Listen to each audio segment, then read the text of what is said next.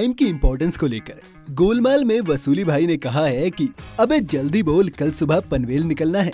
Time से कहीं भी जाने आने में एक चीज़ है जो आपका साथ कभी नहीं छोड़ती, और वो है आपकी कलाई पे बंधी घड़ी। एक जमाने में घड़ी का इतना भौकाल रहता था कि कुछ लोग सिर्फ़ इसीलिए ब्याह करा लेते थे ताकि उन्हें दहेज में घड़ी मिल जाए। और कई बार तो दहेज में घड़ी ना मिलने पे लड़के वाले ब्याह तक तोड़ देते थे, लेकिन हमेशा आपका साथ निभाने वाली रिस्ट वॉच की बनने की शुरुआत कैसे हुई और कैसे देखते ही देखते हर इंडियन एंग्री यंग मैन से लेकर ओल्ड मैन तक की ज़िंदगी में ये ऐसे शामिल हो गई जैसे पान में कत्था और बटर में चिकन बाबा आदम के जमाने में जब घड़ी नहीं हुआ करती थी, तब लोग सूरज की मूवमेंट को देखकर ही टाइम का अंदाज़ा लगाया करते थे, जो कई बार गलत साबित भी हो जाता था। लेकिन पंद्रहवीं शताब्दी से घड़ी बनाने की कोशिश में पहली बार चार चाँद तब लगे जब सन अठारह सौ अड़सठ में स्विट्जरलैंड में पहली बार रिस्ट वॉच को बनाया गया। बात अगर इंडिया की करें तो आज़ादी के बाद 1961 में पहली बार इंडियन कंपनी एचएमटी ने देश के पहले प्रधानमंत्री पंडित जवाहरलाल नेहरू के हाथों से उद्घाटन करवा के रिस्ट वॉच को लॉन्च किया था। अब बात करते हैं कि घड़ी बनती कैसे है। रिस्ट वॉच बनाने की शुरुआत होती है घड़ी के। सभी 130 पार्ट्स के 3D मॉडल्स को तैयार करके, जिसके बाद स्टेनलेस स्टील फ्रेम को पिघलाकर सीएनसी मशीन की मदद से तैयार किया जाता है घड़ी का आउटर पार्ट यानी कि उसका साचा। जब तक सीएनसी मशीन घड़ी के आउटर पार्ट को बनाती है, तब तक एक दूसरी मशीन में घड़ी के पट्टे को तैयार किया जाता है, जिसमें अगर पट्टा स्टील का है तो उसके कुछ पार्ट्स को हाथों से भी जोड़ा जाता है। और अगर पट्टा लेदर का हुआ तो उसे मशीन से ही सिलने के बाद एक ऑटोमेटिक बेलन मशीन की मदद से पट्टे को सॉफ्ट किया जाता है, ताकि आपकी नाजुक कलाई पे कोई खरोच ना पाए।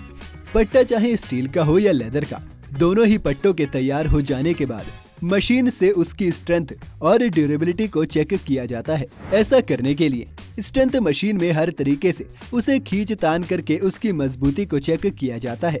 घड़ी का आउटर पार्ट और पट्टा बनाने के बाद तैयार किया जाता है घड़ी का डायल पैड जिसके बिना घड़ी मानो ऐसी है, जैसे हीर बिना रांझा और रिमोटवा बिना पीके, यानी कि एकदम लुल। यहाँ भी फैक्ट्री वाले स्मार्ट वर्क करते हुए, जहाँ एक तरफ़ डायल पैड तैयार करते हैं तो वही सेम टाइम में दूसरी तरफ़ घड़ी के घंटे मिनट और सेकंड के कांटे को भी तैयार कर लिया जाता है। एक बार डायल पैड्स के तैयार होने के बाद, उस पर मशीन की मदद से ही नंबर्स को छापा जाता है, जिसके बाद शुरू होता है। असली हुनरबाजों का कमाल, जो हाथों की मदद से लगभग 100 से ज़्यादा घड़ी के पार्ट्स को डायल पैड के पिछले हिस्से में सेट करते हैं। ये काम इतना बारीक और ज़िम्मेदारी भरा होता है कि गलती से भी अगर एक भी पार्ट गलत लग गया तो घड़ी किसी भी काम की नहीं रहेगी। जब तक हाथ के कारीगर डायल पैड्स में पार्ट्स को सेट करते हैं, तब तक दूसरी तरफ़ घड़ी के कांटे भी तैयार हो चुके होते हैं, जिसे मशीन की मदद से ही एक सेम टाइम में तीनों कांटों को डायल पैड पे जोड़ दिया जाता है। घड़ी के आउटर फ्रेम और डायल पैड में लगभग 130 पार्ट्स को जोड़ने के बाद उसे लाया जाता है असेंबली रूम में, जहाँ रिस्ट वॉच को उसकी आत्मा, यानी घड़ी को उस पट्टे और बैटरी से जोड़ा जाता है। घड़ी में बैटरी जोड़ने के बाद आप सोच रहे होंगे कि घड़ी आपकी कलाई पे सजने के लिए तैयार है। लेकिन जरा ठहरिए जनाब क्योंकि फैक्ट्री में बनने वाली सभी घड़ियों का वाटर प्रूफ टेस्ट किया जाता है ताकि कुछ लेजेंड लोग जो घड़ी उतारे बिना ही बाथरूम या वॉशरूम यूज़ कर लेते हैं उनका भी कुछ भला हो जाए वाटर टेस्ट को जो घड़ियाँ पार कर लेती हैं, उन्हें पैक करके भेज दिया जाता है शॉप्स और शोरूम में जहाँ से ये घड़ियाँ आपकी पर्सनैलिटी में चार चाँद लगाने को तैयार रहती हैं। अब आप घड़ी के बारे में इतना कुछ जान ही चुके हैं तो बोनस के तौर पर ये भी जान लीजिए कि दुनिया की सबसे पुरानी घड़ियों के ब्रांड्स में स्विट्जरलैंड के ब्लैक पेन का नाम सबसे टॉप पे आता है, क्योंकि 1735 में एक छोटे से कमरे में इस कंपनी की नींव जेहान जैक्स ब्लैक पेन ने रखी थी, जिसके बाद से इसका नाम आज तक याद रखा गया है। भारत की सबसे पुरानी घड़ियों में एचएमटी अजंता और सोनाटा का नाम शामिल है, जिसमें एचएमटी और सोनाटा कोट पैंट पहनने वालों से लेकर निक्कर पहनने वालों तक के लिए घड़ी बनाने में फ़ेमस थी।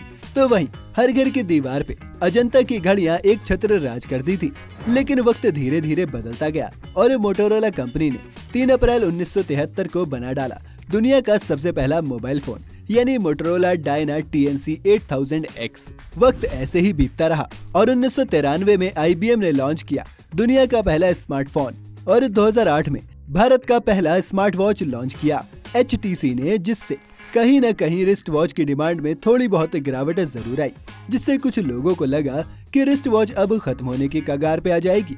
लेकिन उन लोगों को कौन समझाएगा कि ये इंडिया है जनाब? यहाँ के डेली सोप में मरा हुआ मिहिर भी लोगों की डिमांड पे ज़िंदा हो जाता है। और ये तो लोगों को हर जगह टाइम पे पहुँचाने वाली रिस्ट वॉच थी। इसका आना तो सौ टका फिक्स था। और इसी दौर में रिस्ट वॉच स्मार्ट वॉच के रूप में मार्केट में आके मानो सबसे यूँ कह रही थी कि अभी हम ज़िंदा हैं। लेकिन इस बार ये स्मार्ट वॉच अकेले नहीं आई थी। ये साथ अपने लाई थी कॉलिंग की सुविधा। ब्लड प्रेशर नापने की सुविधा, अपने हार्ट बीट कैलोरी ये सभी मापने की सुविधा। और कीमत इतनी सस्ती कि आजकल इसे कोई भी खरीद सकता है, जिसकी वजह से देखते ही देखते रिस्ट वॉच एक बार फिर हर कलाई पे अपना जलवा बिखेरने लगी। अगर आप कभी रिस्ट वॉच के दीवाने रहे हैं तो हमें कमेंट करके ज़रूर बताएँ कि स्मार्ट वॉच और रिस्ट वॉच में आपको कौन सी घड़ी ज़्यादा पसंद आती है? और जो भोकाल कभी नॉर्मल रिस्ट वॉच का था, वो कभी स्मार्ट वॉच का होगा कि नहीं? साथ ही, अगर आप ये जानना चाहते हैं कि फैक्ट्री में स्मार्ट वॉच कैसे बनाई जाती है तो हमें कमेंट में ज़रूर बताएँ। हम आपके लिए एक वीडियो उस पर भी बनाएँगे। अगर आज की ये वीडियो आपको पसंद आई हो तो इसे लाइक और शेयर ज़रूर करें। साथ ही अगर आप चैनल पर नए हैं या आपने अभी तक चैनल को सब्सक्राइब नहीं किया है तो जाते जाते चैनल को सब्सक्राइब करना और बेलाइकन दबाना बिल्कुल न भूलें।